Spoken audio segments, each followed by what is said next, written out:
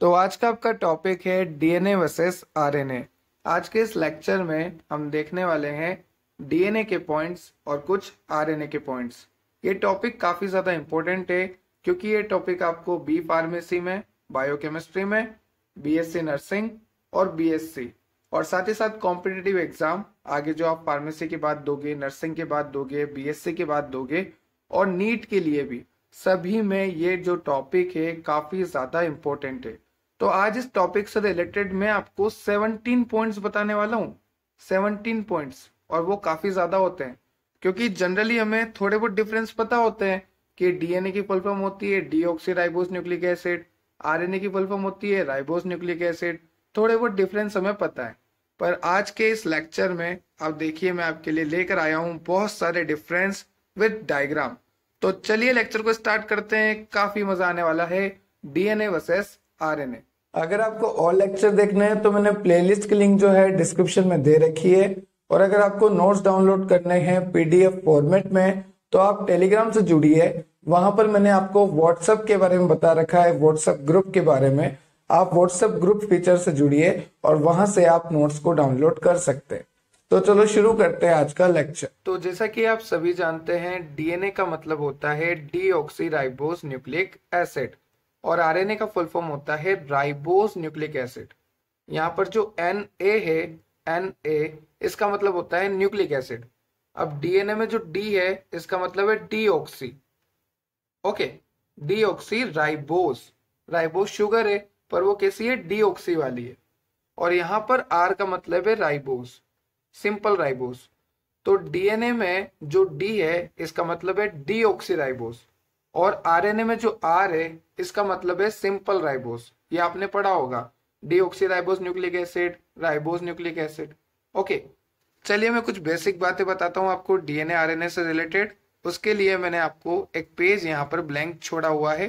तो आप भी इस पे लिख लीजिएगा, मैं आपको बताता हूँ। तो हमें डिफरेंस देखना है डीएनए और आरएनए के बीच में।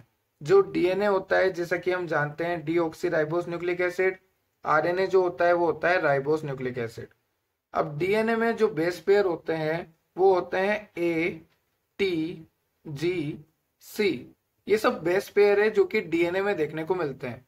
डीएनए की स्ट्रक्चर कुछ इस तरह से है। ठीक है डबल है। डबल स्ट्रैंड होता है डीएनए और यहाँ पर बोन्स होते हैं इस तरह से। ये बोन्स किसके बीच में होते हैं? इन चार बेस पेयर के बीच में। क्लियर है? तो जो डीएनए होता है डीएनए इस तरह से डबल स्टैंडर्ड होता है। और डीएनए में जो बेस पेयर होते हैं, वो होते हैं ए टी जी सी वहीं अगर मैं आरएनए की बात करूँ आर एन ए जिसका मतलब होता है राइबोस न्यूक्लिक एसिड तो यहाँ पे जो बेस पेयर होते हैं, वो होते हैं ए यू जी सी क्या फ़र्क आया? देखो, ध्यान से सुनना। मैं आपको बताता हूँ।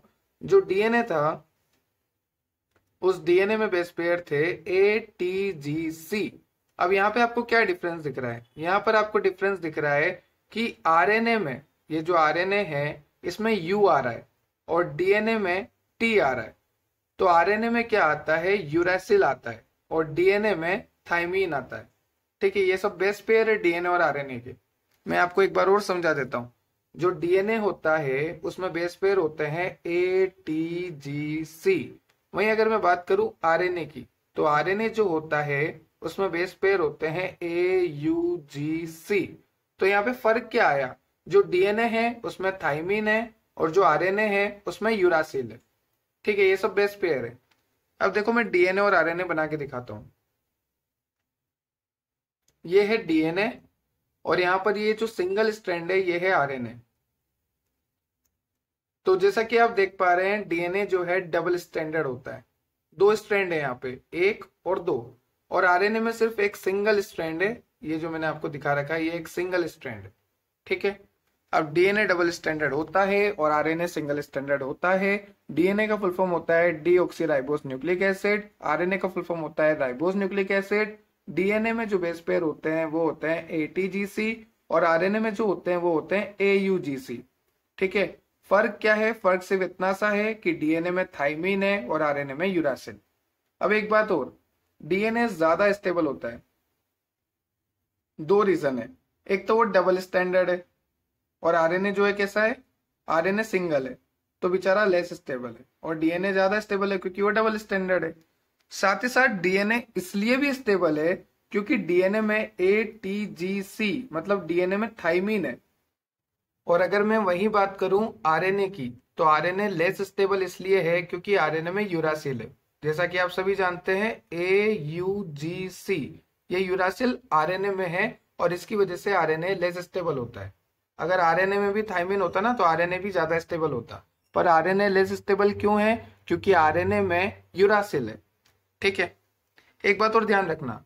ये जो डीएनए में आपको मैंने बताया कि बेस पेयर होते हैं A T G C RNA में मैंने आपको बताया कि बेस पेयर होते हैं ए यू जी सी ठीक है?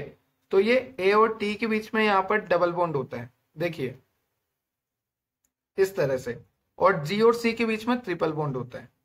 ये डीएनए की बात हो गई। ए और टी के बीच में डबल बॉन्ड जी और सी के बीच में ट्रिपल बॉन्ड पर अगर बात करें आरएनए की तो आरएनए में आप देखो, यहाँ पर आपको देखने को मिलेगा, यहाँ पर आपको देखने को मिलेगा ए यू जी सी तो ए यू के बीच में डबल बॉन्ड होता है और जी सी के बीच में ट्रिपल बॉन्ड तो अगर यू है तो आरएनए है और अगर यहीं पे टी आ जाए तो डीएनए हो गया। सिंपल सी बात है। ठीक है? तो यहाँ पर आपको इस डायग्राम में दिखा रखा है। देखिए, ये सारे बेस्पेयर दे रखे हैं। ये एडिनिन, थाइमिन, साइटोसिन, ये ए टी जी सी वाला है। जो मैंने आपको बताया था, डीएनए में मिलते हैं। मैंने आपको बताया था, डीएनए में क्या मिलता है? ए टी जी सी तो ए कहाँ है? ये रहा, एडिनिन। टी कहाँ है? ये रहा, थाइमिन। जी कहाँ है? ये रहा ग्वानिन और सी कहाँ है? ये रहा साइटोसिन तो ये डीएनए है और डीएनए आपको यहाँ पे डबल स्टैंडर्ड बना के दिखा रखा है इस तरह से, देख लीजिए आप। ठीक है? अब ये आरएनए जो है सिंगल स्टैंडर्ड है। देखो यहाँ पे दिखा रखा है आरएनए जो है एक सिंगल स्ट्रैंड ही है। ठीक है? और आरएनए में क्या होता है? ए you ji C A you जी सी तो ए का मतलब वही एडिनिन यू का मतलब यूरासिल जी का मतलब यहाँ पे देखिए आप ग्वानिन ये रहा ग्वानिन ठीक है? दिस वन और सी का मतलब साइटोसिन तो यहाँ पर आपको वही बता रखा है जो मैंने आपको बताया। डीएनए का मतलब डीऑक्सी राइबोन्यूक्लिक एसिड आरएनए का मतलब राइबोन्यूक्लिक एसिड और यहाँ पर डीएनए आरएनए में अच्छे से आपको डिफरेंस बता रखा है। और ये जो बेस पेयर है ना, ये एडेनिन थाइमिन के साथ जुड़ेगा। तो आप देख सकते हैं येलो कलर एडिनिन का है और थाइमिन का रेड कलर है। और दोनों कैसे जुड़ते हैं? डबल बॉन्ड से। मैंने आपको बोला था कि एडिनिन और थाइमिन मतलब ए और टी जो है डबल बॉन्ड से जुड़ते हैं और जी जीओ सी जो है ट्रिपल बॉन्ड से जुड़ते हैं। तो आप यहाँ पे ध्यान से देखिए एडिनिन का येलो कलर है और थाइमिन का रेड कलर है। तो यहाँ पर रेड कलर और येलो कलर दोनों जुड़ रहे हैं। आप यहाँ पर देखिए इस डायग्राम में रेड कलर येलो कलर दोनों जुड़ रहे हैं। मतलब एडेनिन जो है थाइमिन के साथ ही जुड़ रहा है। मैंने आपको बोला था कि एडेनिन जो है थाइमिन के साथ डबल बोन से जुड़ता है और ग्वानिन जो है साइटोसिन के साथ ट्रिपल बोन से जुड़ता है। अब ग्वानिन साइटोसिन को भी चेक कर लेते हैं। ग्वानिन ग्रीन कलर से है और साइटोसिन ब्लू तो आप देख सकते हैं यहाँ पर इसमें देखिए ग्वानिन जो है साइटोसिन से जुड़ रहा है ब्लू ग्रीन से जुड़ रहा है। ठीक है? तो ये जो भी मैंने बताया, उसका डायग्रामेटिक रिप्रेजेंटेशन आपको कंप्लीट दे रखा है। अब चलिए पढ़ लेते हैं डिफरेंसेस तो देखिए डिफरेंसेस में सबसे पहला डिफरेंस आपको दे रखा है डीएनए स्टैंड फोर मतलब डीएनए का नाम है डीऑक्सीराइबोस न्यूक्लिक एसिड और यहाँ पे जो शुगर पोर्शन है डीएनए का वो टू डीऑक्सीराइबोस है डीऑक्सीराइबोस तो है, पर टू डीऑक्सीराइबोस है ठीक है? और आरएनए का मतलब क्या होता है? राइबोस न्यूक्लिक एसिड, मैंने आपको बता दिया। अब देखो सेकंड पॉइंट सेकंड पॉइंट में लिखा है, जो हेलिक्स ज्योमेट्री होती है डीएनए की मतलब इस तरह से जो ज्योमेट्री होती है डीएनए की हेलिक्स फॉर्म में, वो आपको बी फॉर्म में देखने को मिलती है। और ए और जेड में भी मिल जाती है, पर जनरली जो है बी फॉर्म में आपको हेलिक्स ज्योमेट्री देखने को मिलती है। वहीं अगर मैं आरएनए की बात करूँ तो वहाँ पर भी हेलिक्स ज्योमेट्री होती है और वहाँ पर आपको ए फॉर्म में देखने को मिलती है। तो ये एक डिफरेंस हो गया कि डीएनए में जो हेलिक्स ज्योमेट्री होती है, वो बी फॉर्म में देखने को मिलती है और आरएनए में जो हेलिक्स की ज्योमेट्री होती है, वो ए फॉर्म में देखने को मिलती है। चलिए डीएनए आप सभी जानते हो डबल स्टैंडर्ड है। तो DNA is a double standard molecule consisting of long chain of nucleotide और वहीं अगर बात करूँ आरएनए की तो RNA is a single standard helix. और यहाँ पर लॉन्ग चेन होती है न्यूक्लियोटाइड की तो यहाँ पर शॉर्ट चेन होती है।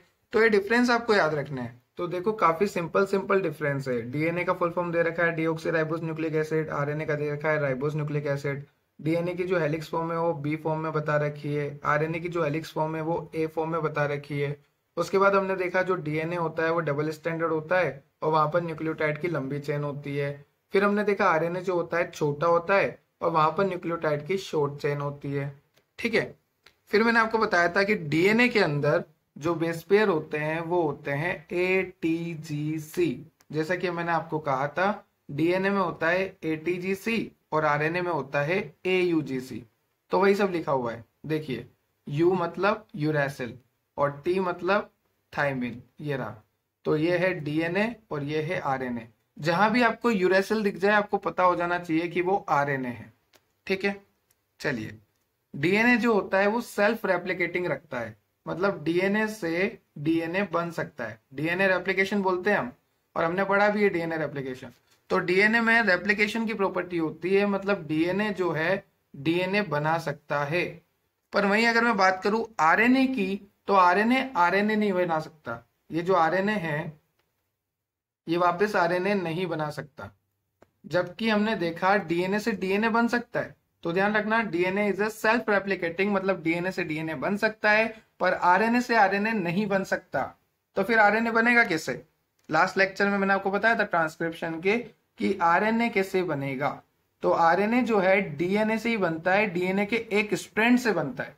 वो ट्रांसक्रिप्शन में पढ़ना आप, ठीक है? मैंने आपको नेक्स्ट लेक्चर दे रखा है ट्रांसक्रिप्शन का।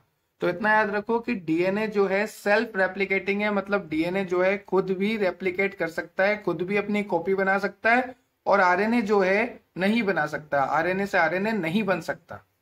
चलिए बेस पेयर बता रखे कि ए जो है टी के साथ जुड़ेगा यहाँ पे, पर यहाँ पे जो बेस पेयर है, उसमें ए जो है यू के साथ जुड़ेगा, क्योंकि आरएनए में थाइमिन नहीं होता थाइमिन की जगह वहाँ पे यूरेसिल होता है, जैसा कि मैंने आपको बता दिया।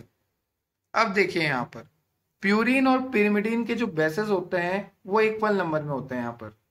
तो देखो मैं याद कराता हूँ कि ये प्यूरिन और पिरिमिडिन होते क्या हैं। प्यूरिन में जो बेस पेयर आते हैं, वो आते हैं ए और जी और पिरिमिडिन में जो बेस पेयर आते हैं, वो आते हैं सी यू टी तो आपको ऐसे याद रखना है, आग जो है, पूरी लगानी है।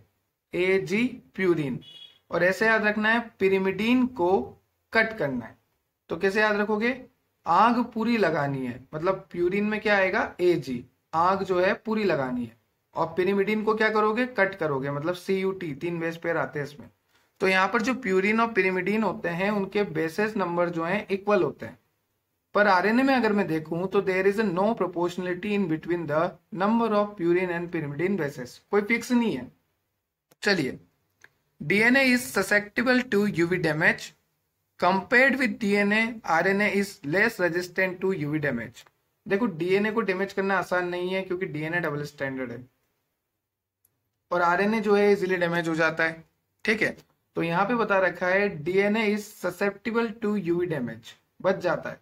पर आरएनए की अगर मैं बात करूँ तो RNA is relatively resistant to UV damage मतलब कि अगर डीएनए जो है यूवी लाइट के कांटेक्ट में आ गया तो वो जल्दी डैमेज हो जाता है as compare to RNA RNA जो है आराम से डैमेज होता है, क्योंकि आरएनए के पास क्या है? रेजिस्टेंट पावर है against the UV rays UV का मतलब अल्ट्रावायलेट तो अल्ट्रावायलेट रेस से हमारा डीएनए जो है जल्दी डैमेज हो जाता है, पर आरएनए जो है लेट डैमेज होता है, क्योंकि उसके पास रेजिस्टेंट होती है यूवी से अल्ट्रावायलेट रेस से.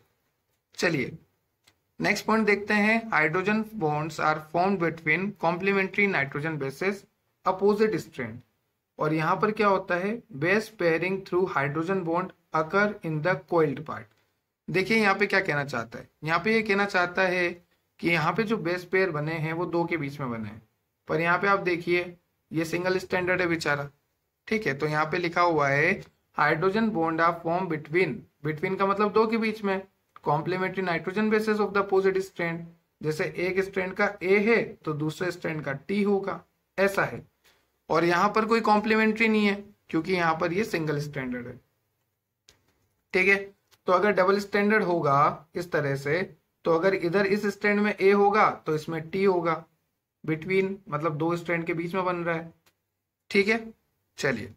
DNA is found in the nucleus of cell and in mitochondria DNA आपको कहा कहा मिलेगा हमारी सेल में? हमारी सेल में डीएनए देखने को मिलता है माइटोकॉन्ड्रिया में और न्यूक्लियस के अंदर। सेल के न्यूक्लियस के अंदर और माइटोकॉन्ड्रिया के अंदर आपको डीएनए देखने को मिलता है। पर वहीं अगर मैं आरएनए की बात करूँ तो आरएनए आपको राइबोसोम के साथ, साइटोप्लाज्म में, न्यूक्लियस में, सब जगह देखने को मिलेगा। डिपेंड करता है आरएनए कौन सा है, क्योंकि आरएनए भी कई तरह के होते हैं। एमआरएनए, टीआरएनए, आरआरएनए, ठीक है? तो डिपेंड करता है कौन सा आरएनए है, पर आरएनए आपको न्यूक्लियस में, राइबोसोम के साथ, साइटोप्लाज्म में सब जगह देखने को मिलेगा, पर डीएनए आपको सिर्फ़ दो ही जगह देखने को मिलेंगे हमारी सेल में, एक तो न्यूक्लियस में और एक माइटोकॉन्ड्रिया में। चलिए डीएनए जो है न्यूक्लियस को कभी भी लीव नहीं कर सकता। DNA can't leave the nucleus पर जो आरएनए होता है, वो एमआरएनए की फॉर्म में न्यूक्लियस को छोड़ के जाता है। देखिए, ये सेल है, अब सेल के अंदर यहाँ पे एक छोटा सा न्यूक्लियस है, ये जो है न्यूक्लियस है। न्यूक्लियस से आरएनए तो निकल जाएगा। किस फॉर्म में निकलेगा? एमआरएनए की फॉर्म में। पर न्यूक्लियस से कभी भी डीएनए जो है, ये डीएनए अंदर है, पर ये निकल नहीं पाएगा। क्लियर है आपको?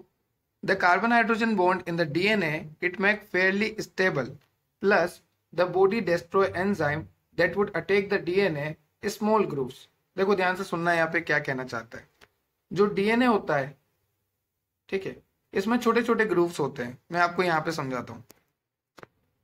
जो डीएनए होता है, इसमें छोटे छोटे ग्रुप्स होते हैं। छोटे छोटे गड्ढे टाइप बोल लो आप ग्रुप्स ओके जहाँ पर एंजाइम अटैक करता है।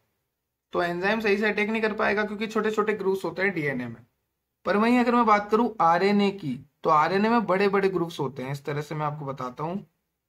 बड़े बड़े ग्रुप्स होते हैं इस तरह से। तो आरएनए में जो है एंजाइम काफ़ी इजीली अटैक कर लेगा। तो आरएनए में काफ़ी इजीली अटैक कर लेता है एंजाइम पर अगर मैं डीएनए की बात करूँ तो डीएनए में ग्रुप्स जो हैं छोटे होते हैं तो एंजाइम सही से अटैक नहीं कर पाएगा। पर आरएनए में इजीली अटैक कर लेगा, क्योंकि आरएनए में जो ग्रुप्स है, वो बड़े बड़े होते हैं। तो यहाँ पे आप देख सकते हैं डीएनए में जो ग्रुप्स होते हैं, वो छोटे छोटे होते हैं तो एंजाइम को स्पेस नहीं मिल पाएगा एंजाइम सही से अटैक नहीं कर पाएगा।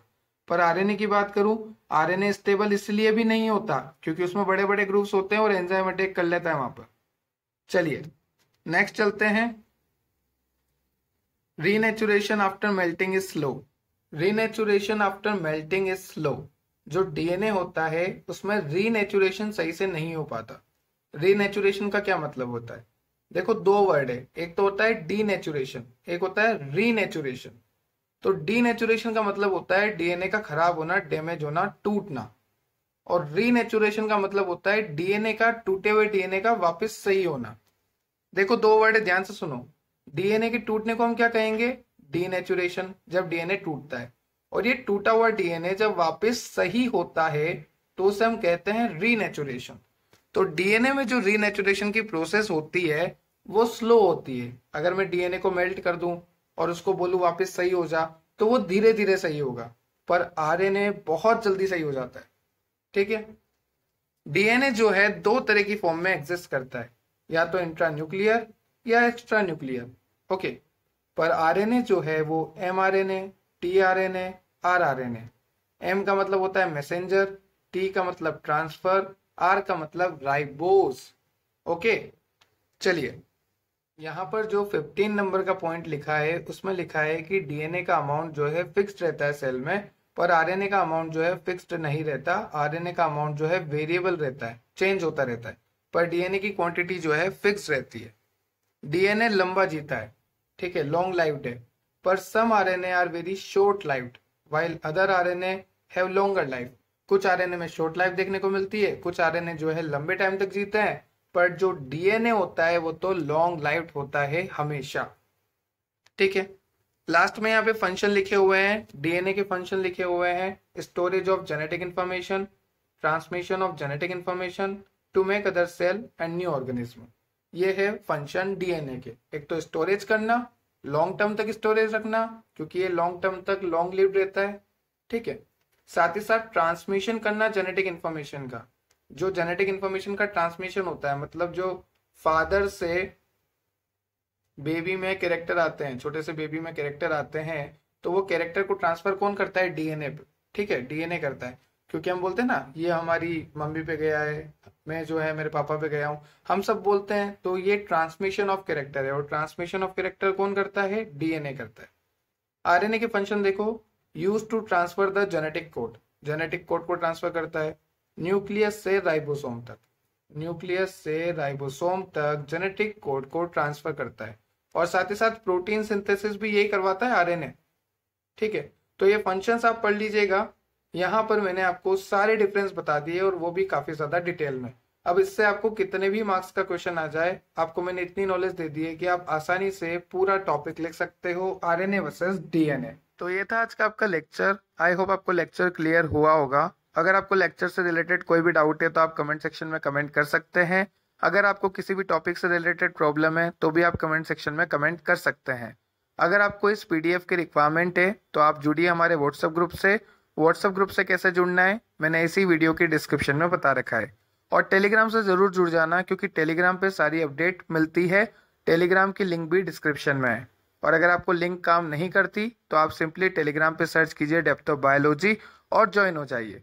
इसको मैक्सिमम शेयर कीजिए, ताकि सबको डीएनए आरएनए के बीच का डिफरेंस तो एज इट इज़ क्लियर हो जाए। Subscribe and share for more have a nice day thank you